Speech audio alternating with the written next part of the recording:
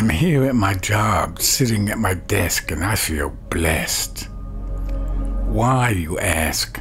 Because I am working and I, and I am able, while others are struggling to put food on their table. The good Lord has seen to it that his faithful servant is more than able each and every day. He continues to anoint me and he always makes a way. I do not take for granted all that he has done for me and is doing for me. I reach out to others and try to bless them as well, you see.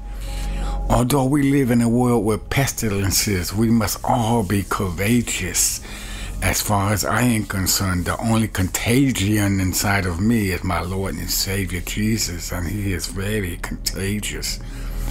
I do not need to be vaccinated, although I am contaminated with the blood of Jesus, which was activated when my life with Him was created, and my faith in my Lord is elevated. With Him, I never feel isolated. I am never from Him segregated or separated.